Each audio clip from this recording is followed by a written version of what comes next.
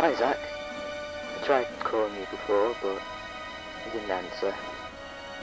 It's me, your pal. Listen, I've got something to ask you. Do you still have that sketchbook of yours? You have no idea where that came from.